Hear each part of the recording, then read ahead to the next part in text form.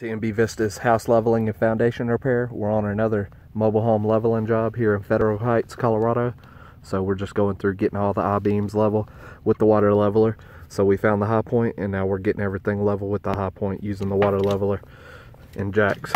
So we basically jack, make sure all the beams are jacked up to be level with the where the water meets.